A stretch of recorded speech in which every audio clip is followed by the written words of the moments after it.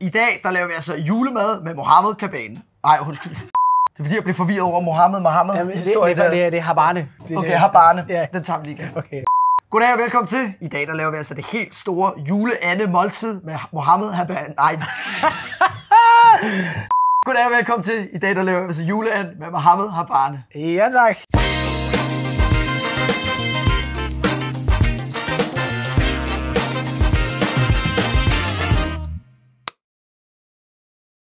Goddag og velkommen til endnu et afsnit af Jakob K-serien her. I dag der har vi altså fået besøg af komikere.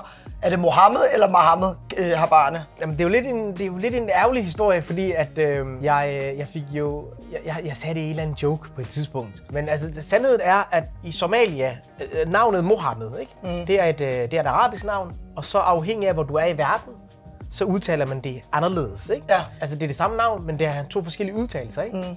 Og det er lidt det samme, der sker her. Han øh, han er i Somalia og udtaler øh, Mohammed, som han burde gøre i Somalia. Mohammed. Så tager han til Danmark, og så vælger han så at stave ordlyden i Somalia af navnet Mohammed på dansk. Okay, Altså, du altså ved da, da I kommer til, til Danmark. Da vi kommer til Danmark, tid, ikke? Så han er jo ikke, det er jo ikke som sådan en fejl at hedde Mohammed, men det, det er egentlig, egentlig Somalia, der kan kalde mig Mohammed, fordi Ja. ja. det, det ville også være åndssvagt, at jeg gik og sagde Jacob, selvom jeg er i Danmark. Ikke? Ja. Altså, Men du, så, men du har så fået ændret dit navn, kan man ligesom sige. Ja. Fra Mohammed, Mohammed, Mohammed til Mohammed, ja. Ja, fedt nok. Jamen, det skulle da godt nok. Jamen altså, inden øh, vi lige får præsenteret, hvad det er for noget mad, vi skal lave, ja. øh, kunne du give sådan en lynkort introduktion, hvis der nu er nogen, der sidder øh, Ja. derhjemme og ikke ved, hvem du er? Ja, øh, jeg hedder Mohammed Mohammed Mohammed Habane, og øh, jeg er stand-up-komiker, og, øh, og så laver jeg lidt, øh, lidt, lidt fjernsyn også, så den blev måske sådan for alvor øh, kendt i programmet øh, Stormester. Hvor- Hvornår finder du ud af, at du vil være stand-up-komiker? Jeg har jo altid godt kunne lide at lave stand-up, Ja. eller altid kunne, lide- kunne, kunne lide at se stand-up, Ja. men øh, jeg blev så stor en nørd, og, og, og så det så meget, og endte med at opsøge de der open mics, hvor man kommer ned Ja. og ser stand-up. Og jeg havde sådan et eller andet sted i baghovedet, vidste jeg godt, at hvis jeg, hvis jeg sådan blev presset til at gå op på den scene, så tror jeg godt, jeg kunne levere Ja. fem minutter. Ikke? Ja. Det var sådan, da jeg, sådan, da jeg var 24 år gammel, der fik jeg tanken om, måske skulle jeg prøve at lave det. Men jeg har aldrig, sådan, jeg har aldrig været et barnedrøm. Min karriere er sådan en plan B. Ja. Ja. Okay, men det, og, og det skulle da gået meget godt, altså. er Det skulle da gået meget godt. bedste plan B, jeg har. Ja. Ja. Meget arrogant plan B, ikke? At Jo, jo, jo, selvfølgelig. Hvis jeg ikke lige kan få en uddannelse, så kan jeg altid blive en stor stjerne. Ja. altså, det, Nå, men vi skal jo lave noget mad i dag. Ja. Og øh, lidt til min overraskelse, så blev der jo snakket om, at du godt kunne tænke dig at lave noget julemad. Ja. Og øh, hvordan kan det være? Jamen, jeg, altså, jeg, jeg elsker, hvad hedder det, øh, dansk øh, julemad. Ja, altså jeg har jo boet de sidste par år inde på Greffenfeldsgade, mm. hvor der er rigtig meget øh, somaliansk. Aha. Så jeg havde egentlig troet, at vi skulle lave noget rigtig lækker somaliansk mad. Men, jeg, kom, øh, jeg kom heller ikke så meget dernede, fordi de laver, de laver ikke særlig meget julemad dernede. Nej, ej, det gør de, de ikke. gør de altså det gør de ikke. så, så vi skal lave julemad, det glæder jeg mig til. Og øh, vi har fået, øh, vi kunne også have lavet den i hele land, men ja. det når vi altså ikke. Okay. Så vi har fået et par gode andebryster, Ja. og så nogle, øh, nogle brune kartofler, mm-hmm. og så måske lidt sovs til og lidt rødkål. Okay. Så hvad hedder det, øh, hvor meget mad laver du derhjemme? Jeg er god til at lave morgenmad. Ja, Det er jeg virkelig god til. Jeg kan lave mange forskellige slags øh, morgenmader. havregryn med mælk, Havregryn med mælk. Jeg kan lave yoghurt med mysli Ja. til dig, ikke? Cornflakes. Ja. Kan jeg også godt. Okay, ja. Coco Pops, der er det. Det smager godt. smager godt. Men skræl kartofler? Det kan jeg vil godt- det kan jeg godt finde ud af. Det kan jeg godt Vil finde du ud så af, ikke ja. øh, starte med at hoppe på, øh, på et... Øh, det, okay, det var måske for meget sagt. Og de, de skarpe, der bliver, så du skal Okay, okay, passe ja. på, øh, på fingrene. Jamen, jeg skræller heller ikke rigtig mange øh, kartofler Nej. derhjemme. Det gør jeg altså ikke. Men hvad hedder det? Øh, Okay, jo. du kommer til Danmark som syvårig, og, og hvordan kan det være, at din familie flyttede til Danmark? Øh, det er fordi, at øh, der er krig i Somalia. Ja. Det, der sker, er, at øh, min far er har oppe først. Øh, ikke, at, ikke, at det er en, øh, kapløb øh, på den måde. den, der kommer sidst til Danmark, giver bajer. og så da han så kommer til Danmark, der søger han familiesammenføring. Okay. Så resten af familien, øh, vi bliver bare fløjet herop. Ja. Det tog ham fire år at, at få familiesammenføring. Han Hold da op. siger, at det tog ham fire år. Kommer han bare chillet lidt? Nå, hvad han lige tænkt, jeg har også lige, jeg kan også lige til nu, hvor, hvor, hvor jeg endelig Ja. er fri fra familien, ikke? Hvad, hvad, hvad siger din familie, når du kommer hjem og siger, ved du hvad, jeg vil være stand-up-komiker? Jamen det der sker er jo på det her tidspunkt, der kommer jeg jo ikke hjem og siger det, fordi jeg bor jo ikke hjemme. Men jeg kan da huske, da jeg starter med at lave det her, der er min, øh, min mor og far jo øh, mildestal bekymrede. Ja. øh, og, og der går jo også rigtig, rigtig lang tid faktisk, før at de sådan, jeg vil sige, de giver sig. Det er ikke, det er ikke sådan, at de er woohoo, men mere sådan, okay, jeg kan godt se meningen i det. Ja, ja, ja. Og det, det sker ret sent. Altså, det sker, da jeg, jeg, jeg fik øh, simpelthen øh, som en af de få komikere i Danmark lov til at optræde for, for kronprinseparet. Ja. Det, det, det er først der, at da de ser det i, på tv, at det er som om, at det er sådan, det er alle, altså mine forældre, altså, når, når det er simpelthen øh, øh, prinsen og, og prinsessen, ja, okay. Altså, du ved ikke, så, så er det først Ej, der. så giver den, giver den credit derhjemme. Ja, så giver den, så, så giver den credit derfra. Og bruger, bruger du også din altså, familie og sådan nogle ting i dine shows? Jamen lidt, jeg snakker jo lige om min far, der har stadig mit navn forkert og, og, og så videre, ikke? Det er jo sådan lidt at bruge sin familie. Jeg, jeg har en joke, min far synes er sjov. Den, det er første gang, jeg fik ham til at grine af en af mine jokes, som er, som er sådan fra shows, altså, hvor at jeg sådan sagde, det er fordi min far han er imam. Ja. Så, så var min mor uh, imammer. Ja, okay. Øh, og det, det, den, Den kunne han godt den lide. kunne han godt lide. Min far synes også, han er selv, han synes selv, han er sjov. Ja, okay. Jeg synes, er, er han sjov? Øh, det, det, det er nogle gange. Han er, han er sjov, fordi han synes, han er så sjov. Mm. Han elsker at fortælle en god historie, og han, han er heller ikke bleg for at fortælle den øh, en gang mere. Nej. Øh, og så lader han bare så om, at han ikke lige kan huske, at han har fortalt den. Ja, ja, selvfølgelig. Øh, han ved godt, at han har fortalt en historie. han ved det godt. I forhold til nu, når du er fra, fra Somalia og sådan noget, er, er I ofte hjemme og øh, altså, øh, besøger jeres hjemland, eller? Jeg var dernede i 2011 Ja. sidst. Jeg havde, jeg havde sådan et skørt projekt på et tidspunkt, hvor jeg sådan havde tænkt mig at tage ned til Somalia og åbne en open mic. Altså Ja. en comedy club Ja. nede i Somalia. Det er fordi, jeg, jeg, har, jeg har altid sådan tænkt, måske skulle jeg en dag tage derned og så prøve at, at, la- skabe noget dernede. Ja. Altså lave et eller andet, ikke? Altså Somalia er, er nogle pi- altså de er virkelig sjove. Ja. De er virkelig sjove mennesker. Det somaliske sprog er nemmere at lave comedy på, end Ja. det danske sprog. Okay. Øh, altså, der er jo bare flere altså, måder at lege med sproget på i somalisk, end der er på dansk. Ja. Altså for eksempel tysk er ikke særlig godt egnet til comedy. Det er også derfor, at stand-up ikke er særlig stort i Tyskland. Okay. Ja. Det, det er jeg aldrig over. Ja. det er aldrig overvejet. De er altså flot skrællet. Okay, ja. Er, er, det, den, er, det, er det nok? Det er ja, måske to mere, så Okay, øh, går det, hvordan, hvordan er som, øh, går det her hurtigt, øh, langsomt? Hvad- ja, rimelig langsomt. Det går ret Ja, ja, det, men, men, men hellere, at det så bliver lavet ordentligt, ikke? Hvor langsomt går det? Altså fra et skala fra 1 til 10. Ja, så måske en to eller tre.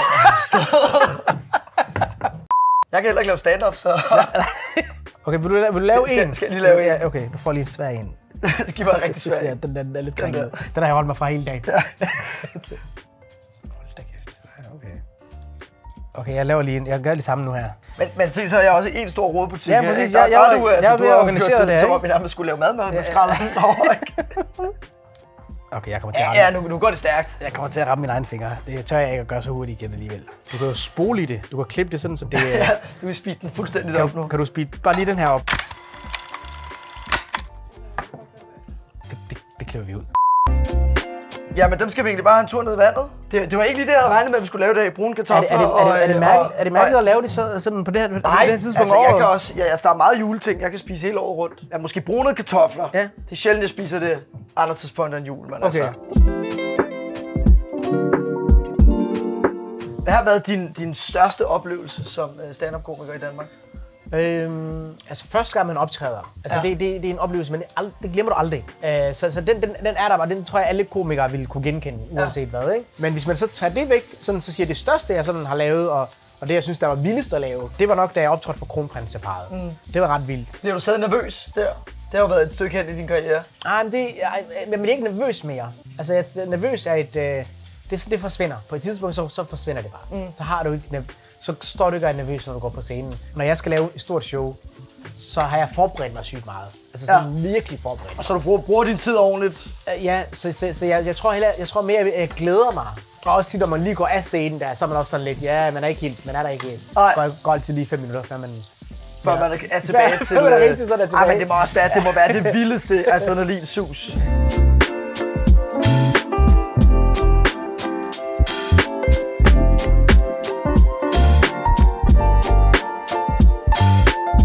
Jeg tænker simpelthen lidt, at vi bytter plads, og så kan du få lov til at lave nogle brune kartofler. Okay. Og det har du ikke lavet før? Øh, nej, jeg har aldrig lavet det. Nej, det er egentlig bare, der skal smeltes noget, øh, Okay. noget sukker. Mm-hmm. Og når det smelter, så skal der lidt smør i, og så skal vi bare vende kartoflerne i. Okay. Så det er sådan rimelig... Øh, Jeg kan godt nogle gange, jeg ved ikke om du kender følelsen som, øh, som kok. Hvis der er en ret, jeg godt kan lide, ja. så, så kan jeg faktisk ikke så godt lide at se, hvordan det bliver lavet. Nu, nu ser jeg jo for eksempel, hvad brune kartofler er. Ja. Og det er jo bare sukker og fedt, der bliver rullet rundt i. Ja, det er det. Altså, ikke? Det er det. Har du nogle gange oplevet, har du nogle følelsen af, at du, du, da du var barn, et eller andet lækkert mad, og så finder du bare ud af, når det er bare de her to ting, man putter sammen? Jamen, jeg tror specielt Glasur, også, glasur. Efter, efter jeg har lavet ja, glasur. Glasur, den- den er altså, noget- da man fandt ud af, hvad fanden glasur var, Ja. det var da virkelig et, et lavpunkt. ja, der er i hvert fald ikke meget sundt det der. Ja, ja. Men også bare restaurantbesøg. Der er jo en halv pakke smør i hver ret næsten. ikke? Ja, ja. Og det er der jo ingen, der sidder og tænker over, når de sidder deroppe. ikke? Altså, det er bare sådan, magien kan bare ryge. Altså. Men nu har jeg jo set det. Kan så godt bare smelte uden, altså der er ikke, der er ikke olie i eller noget. nej, nej, det smelter bare. Og så laver vi sådan en lille andesky ud af den der. Andet, øh, altså sovsen. Ja, sådan lidt en sovsagtig ting, ikke? Det er vildt nok det der med, at dem, der har fundet på det her. Er det ikke vildt at tænke på? Jo. At der er et menneske, der på et eller andet tidspunkt har set en, noget, noget fedt fra en and, og så har han tænkt, jeg putter sgu lige noget mælk i. altså, du ved, det, Jamen, der, og det- der er det- det er smager jo bare- altså, det ja, det smager jo sindssygt godt jo. sindssygt Men der er, jo, der er jo et menneske, der har været syg, syg nok til at, at, at, gøre det første gang, ikke? Jamen, og sådan må det være med alle, alle retter. Der er også en, der har spist ost for første gang, jo. Ja, og er lavet ost for første gang, ikke? Det er jo bare, ja, det er bare alle, der er blevet Gammel, jo. Eller for gammel, ikke? Ja, det er jo også en kæmpe chance at tage. Ja, ja, fuldstændig. Hvad, hedder det, hvad, hvad, hvad er dine sådan, øh, øh, mål inden for stand-up'en og inden for ja, bare dit liv? Altså, hvor, hvad, hvor vil du gerne hen med det hele? Altså, jeg, jeg ved sgu ikke helt, øh, hvad planen er. Altså, man kan jo, det lyder jo sådan lidt øh, privilegeret at sige, at altså, jeg, jeg føler sgu, at jeg har nået det og mere, end jeg havde hå- turde håbe på. Ja. Ikke? Jeg, jeg, jeg er stor fan af, af Dave Chappelle, Ja, øh, og han sagde engang, hans mål var, at hvis han bare kunne få lov til, hvis han kunne, hvis han kunne få den samme løn som en, hvad hedder det, øh, pædagog, så ville han stadig lave det jo. Og det er jo lidt den samme mentalitet, jeg har. Altså, hvis der er nogen, der sagde til mig i dag, øh, Mohammed, du, øh, du får udbetalt øh, den samme løn, som en pædagog får resten af dit liv, men så er du også sikret, at du laver, kan leve af at lave stand-up, Ja. så har jeg sagt ja med det samme. Det er jo ikke fordi, at, at man sådan skal være G- Gandhi-agtig, ikke? Nej. Men, men hvis man sådan kigger ned i sin, altså øh, kigger, kigger ind i, hvad, hvad, hvad drivkraften for det her i virkeligheden er, og hvor Ja. det kommer fra, så har det sgu aldrig været penge. Altså, hvis jeg gerne ville have- have tjent penge, så har jeg aldrig turde at satse på det her. og, og hvad hvis det hele går galt? Hvad skal du så lave? Jamen, jeg, så kunne jeg godt tænke mig at blive øh, øh, arbejde på en bar. Jeg gad godt at sådan arbejde på en, øh, en røget bodega, Ja, øh, og bare øh, fortælle jokes til folk, der kommer ind. ja. Ej, det lyder også godt. Det tror jeg virkelig vil være mit Ja. ja. drømmejob. Det tror jeg sgu også er hyggeligt. Mm. Er altså food porn. Jeg har fået sådan en ny hobby. Ja, Altså ikke det her. Jeg glæder mig til, jeg glæder mig til at høre. Jeg, jeg, går mange sådan ture ud i skoven i Aarhus der, Jeg, jeg glæder mig til at høre Connection. hvor der er sådan vandposter, ja, øh, hvor folk drikker vand af. Og det er sådan vandposter, hvor man sådan holder på, og så sprøjter der vand op. Ja. Og så får man sådan vand i munden der, så sidder sådan, sådan folk og, og drikker det. Og, og hvis, hvis man lige kommer, mens den anden person er i gang, Altså, jeg har lagt mærke til, at folk bryder sig ikke om, man kigger, når, når folk er ved at drikke det vand. Nej. De føler, det sådan, de blotter sig rigtig meget. Øh, og jeg elsker at kigge på folk, der gør det der. Ja. Og det er det fedeste, jeg ved. De føler, de sådan er i gang med at gøre noget beskidt. Ja. Når de, når de, med den ja, de står sådan ja. med åben mund og får sprøjtet det der vand op. Og de hjælper heller ikke. Jeg står lige ved siden af og står og siger, åh, oh, yeah.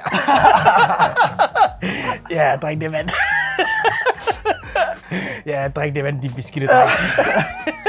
Prøv at nu er der, der er jo simpelthen, der dufter også bare jul i hele Ja, hylden ja, det er jo ja, øh, det er fantastisk. Det er helt fantastisk, Ja, det ja. her. Skal du have det hele med rødkål og hele... Jeg skal, jeg skal have hele, hele baduljen, du. Det er altså blevet en meget god... Øh, vil du ikke så smide nogle kartofler på? gået meget stærkt, synes jeg. Det er blevet skide godt, det her. Og så laver jeg lige den der. Helt sikkert, jeg har den. Jeg har den. Ej, det er godt. Det er rent masterchef, det der. Au, for satan! Det lykkedes bare at brænde mig selv.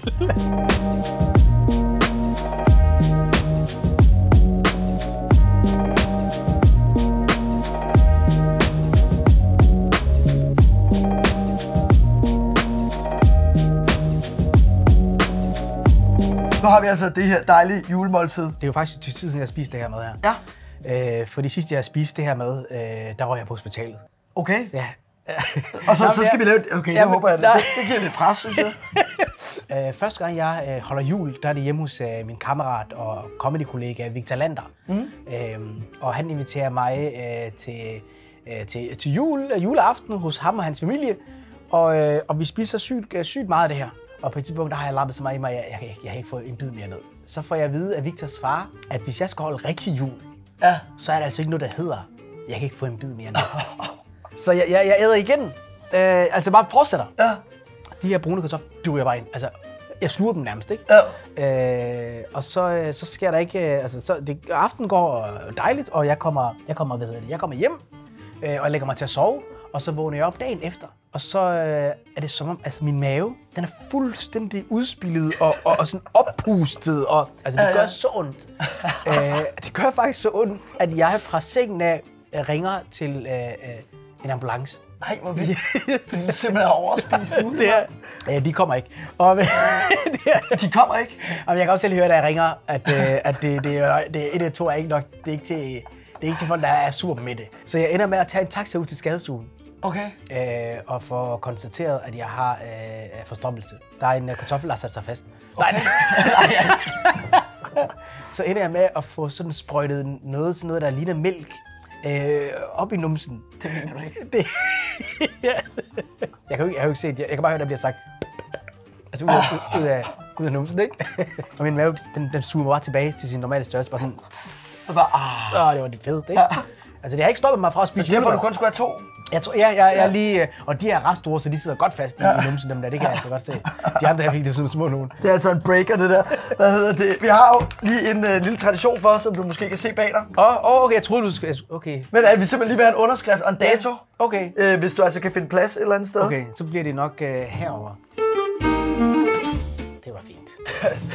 Det, er at Det læse. siger jeg selv. Jeg kan godt se, at der er nogen, der har skrevet meget stort, ikke? Ja, ja, ja, der er jo kæmpe egoer. Det fortæller også noget om folks egoer. Hvis, Ja, ja. jeg, hvis jeg øver sig på en fotograf, Ja. så er det jo folk, der har, der har, der har tænkt, de skulle være kendte, ikke? Ja, jo jo. For Du bruger det ikke til andet. Nej, præcis. Man har jo en nem idé i dag. Det er jo også mere, at det er sådan en selfie-verden i dag. Ja, ja, folk burde jo sige, må jeg få din nem idé? ja. Det er altså ikke helt dumt, det her. Nej, Hvad skal vi smage først? øh, jeg synes anden først. Anden først. Ja. Jeg er også mega sulten. Nej, det er altså bare... Mm. Det smager af jul, ikke? Åh, Og alt det her, man, altså, ja, det burde man faktisk spise noget oftere. ja, ja. Man burde også have en restaurant, der bare kun havde julemad hele året rundt, ikke? Det hedder Jylland. Kæmpe restaurant, der hedder Jylland. Hvad på den note, så vil jeg sige tusind tak, fordi I fulgte, fulgte med. Der ligger øh, links til alle Mohammeds So Me ting og sager, og jo, måske et par sjove YouTube-klip, I kan finde ned i øh, beskrivelsen. Husk at hoppe ind og subscribe på kanalen. Har du et eller andet fedt show, du øh, vil promovere lidt for, eller øh, hvor, kan man, hvor kan man se dig? Altså, jeg har, altså lige nu der er jeg med i noget, der hedder Jade Vildt. Ellers så har jeg faktisk alt er på i støbeskeen nu, så der er ikke rigtig noget, der må komme ud på den måde. Jeg har bare for hyggen. Han er bare for hyggen, og så må I jo hoppe ind og følge med ind på, jeg tænker, du lægger noget op på, på dine social media kanaler, når det endelig er. Mm. Men tak fordi I så med.